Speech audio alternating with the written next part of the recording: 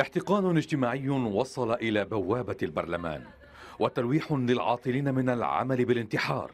في بلد لامست فيه نسبة البطالة 15.5% في ظل ركود للاقتصاد وتراجع لافت في الاستثمار الداخلي والخارجي وتفاقم عجز الميزان التجاري إلى أكثر من عشرة مليارات و800 مليون دولار.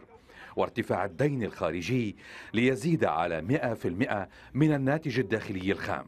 الاقتصاد شبه توقف تماما على إفراز النمو.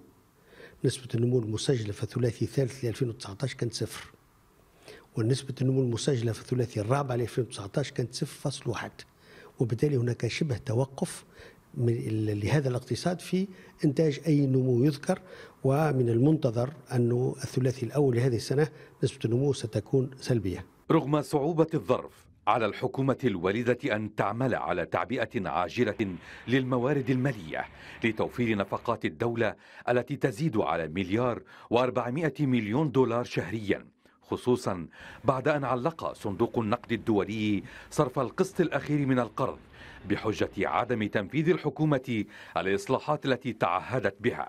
أول حاجة هو آه، التحكم في المديونية التحكم في الميزان التجاري رد الاعتبار لقيمة الدينار التونسي من الأولويات الأهامة جدا وهي المداخل المحورية اللي باش ترجع ترد الاعتبار للنشاط الاقتصادي في تونس. تعديل كفة الميزان التجاري يحتاج إلى حكومة قوية تعمل على تشجيع الاستثمار والتصنيع محليا وكبح جماح التوريد العشوائي ومحاربة الفساد الذي يكلف البلاد نقطتين ونصفا من النمو سنويا. وإلى القضاء على التهريب الذي يزود الاقتصاد الأسود الذي قضى على الاقتصاد المنظم أو يكاد بعد أن تجاوزت نسبته 55% من حجم المعاملات. بحكومة محاصصة حزبية تولد تحت الضغوطات والإملاءات وقد تسحب منها الثقة مع أول موعد لبروز شبح الخلافات. يصعب على الفخفاخ بحسب مراقبين أن يعلن حربا جدية على الفساد أو أن يضع حدا لعربدة أباطرة التهريب والاقتصاد الموازي. عماد تونس الميادين.